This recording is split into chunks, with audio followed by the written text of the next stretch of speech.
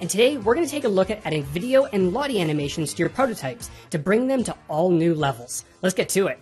Here we are in Adobe XD with a gaming platform I've been designing. And to further bring this experience to life, let's add in some video and Lottie animations. Over on the home screen, I currently have a nice large featured image at the top, but it's feeling quite static. Adding videos to an XD project is very similar to photos. They can be dragged directly onto the canvas or into a blank shape to be masked.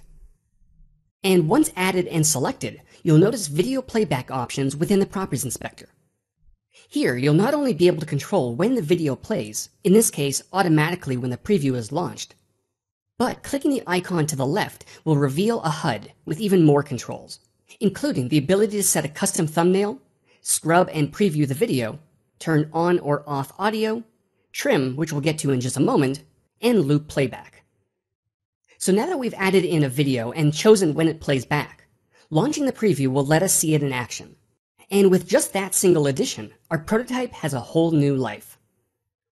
Before we take a look at adding Lottie animations, let's switch over to one of the other states within this featured component.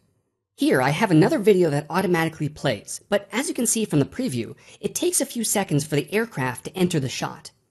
When we took a quick look at the HUD a few moments ago, I mentioned that there was a way to trim your videos. Entering this mode will let you set the start and end points by dragging on the handles. And in this case, I'll want the playback to kick off right before the action begins. And when everything is set, the checkmark will apply those changes. It's good to note that trimming is completely non-destructive, so you can always return to the HUD to adjust or undo your edits.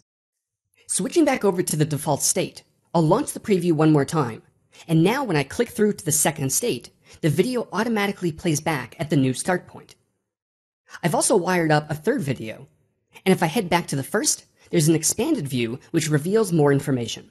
And you may even notice that videos that are present between auto-animated states plays back continuously without interruption. Alright, let's take a look at Lottie. Over on the community screen, I've set up a component that's revealed on hover, and within that, I've roughed in an additional area which I'd love to use for an animated emoji picker. Let's edit the main component so we can add in our content. Jumping into the stacked group, I'll quickly duplicate the existing layer a few times. Then switch over to Finder, where I have adorable Lottie animations of various emojis created by Anna Movin over at ui8.net. Just like with videos, Lottie files can be dragged directly onto an existing Lottie layer, straight onto the canvas, or masked into shapes to define their size. And when the layers are selected, the playback can be set over to the right. And for all of these, we'll want them to play back automatically. One thing to point out here is that unlike with videos, the icon to the left is strictly to control looping, which we'll want for these interactions. Perfect. Switching back over to the default state on this component, we can now preview the community screen. Hover over the message, then hover over the emoji icon to reveal our Lottie animations and see them in action. Before I show you the complete prototype, let's take a quick look at the end of playback trigger, which can really help automate some of your video and Lottie interactions. Earlier, I gave you a glimpse of the featured component's expanded state.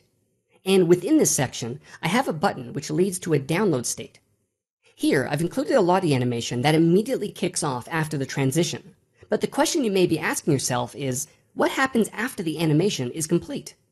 Switching over to prototype mode, you'll see that there's currently a time trigger attached.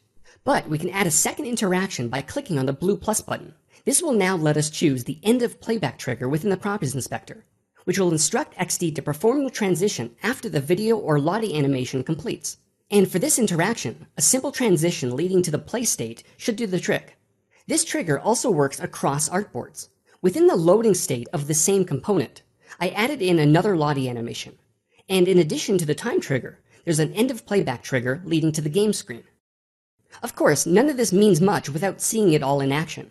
So back to the default state, I'll launch the preview, expand this view, then kick off the download interaction. And thanks to the end of playback trigger, the component automatically transitions to the play state, where I can now click to launch the loading animation.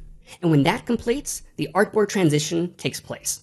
These few examples are just scratching the surface of what can be done with video and Lottie, and I'll be covering many additional use cases in future tutorials. But before we wrap up, here's a look at the entire experience. Enjoy.